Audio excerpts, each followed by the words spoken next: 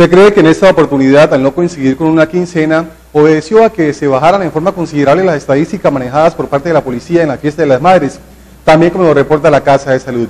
No obstante, hubo 15 personas heridas en accidentes en motos y 10 con armas blancas.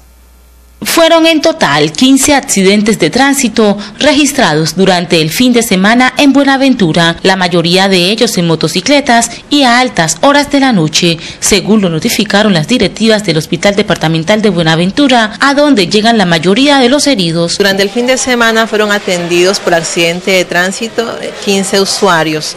De estos, el 86% fueron por accidentes de motocicleta.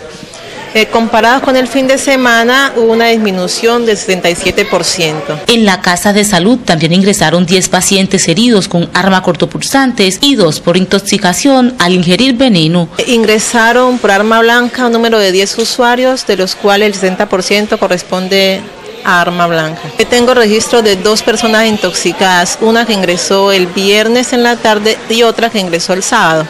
Las 27 personas recluidas en el centro hospitalario fueron sometidas a exámenes para determinar el grado de heridas y la mayoría, según dictamen, por fortuna, no fueron graves.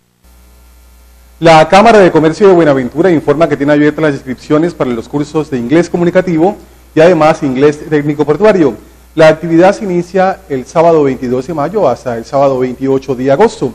Cómodas tarifas y además descuentos especiales para grupos y afiliados a la Cámara de Comercio de Buenaventura. Cupo limitado. Más información en la Cámara de Comercio de Buenaventura, departamentos de promoción, desarrollo y además asuntos empresariales. Voy llamando al teléfono 24 245 08, 24 245 08 para las personas interesadas en inscribirse en los cursos de inglés comunicativo e inglés técnico portuario, uno de los dos o en su defecto los dos cursos, de acuerdo a la conveniencia de los interesados. Y ahora veamos una mención comercial.